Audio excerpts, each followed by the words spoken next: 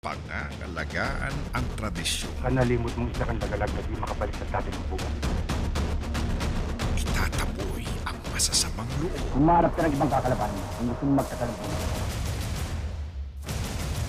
Si The King FPJ ang tagapagtanggol ng Ayon kay ama-ama imama. May natatagong armas ng ating mga kasama. Oo, bukod pa sa mga patag. Bontok. Sunday, 3.30 p.m.